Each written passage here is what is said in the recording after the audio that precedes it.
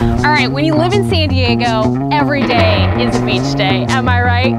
But finding parking can be very difficult, so I need y'all to wish me luck. Here we go. Off to the beach. Just gotta get my surfboard in here, because I'm an avid surfer.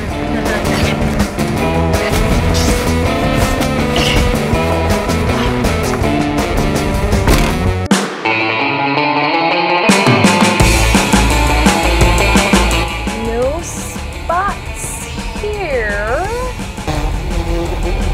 Just want to go to the beach, frolic in the water. Oh my god. My sunblock is melting.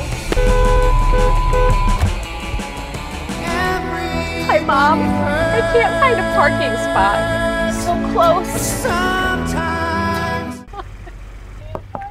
Jenny, What? you looking for a parking spot? Yeah. You know I can help. Get on in here. So this is Tyler Cagle, co-creator of the Drivewayz app. So you are going to help me find a parking spot near the beach, which is impossible. It's really easy to download the app. You just go ahead and uh, type it into the App Store, download it. It takes a couple minutes to sign up. You just enter your mobile number or sign in through Facebook. People rent out their personal driveways at an hourly price, and so people like you, people just driving around, don't have to waste any time searching for parking now. Frustrated drivers like Exactly. myself. Uh, I can go ahead and type in where I'm trying to go. So in this case, we're in Pacific Beach. We're trying to get to the beach. And it pulls up all the parking spots around in the area. And so here in Pacific Beach, we actually have about eight different spots.